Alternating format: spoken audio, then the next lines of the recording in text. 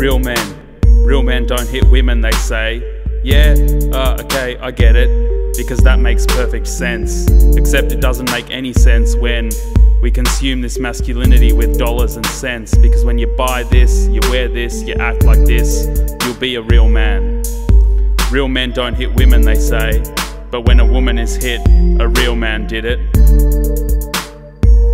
Real men and this toxic masculinity, trapped inside a cage of our own making. Toxic masculinity's inherent fragility, that unshakable relic of the patriarchy. Because when you're straight, white, and middle class, you'll be a real man. Real men don't abuse women, they say, but when a woman is abused, a real man did it.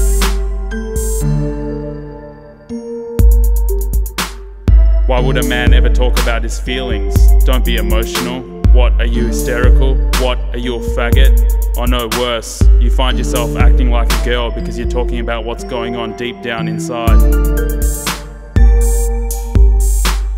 Real men don't rape women, they say, but when a woman is raped, a real man did it.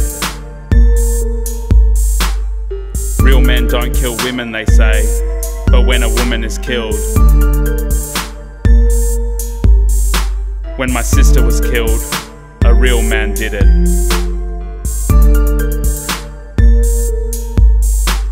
So maybe it's time to reconsider a new definition or a different kind of proposition. Maybe it's time we look in the mirror and maybe it's time we change what it means to be a real man. Ask yourself, what kind of man am I?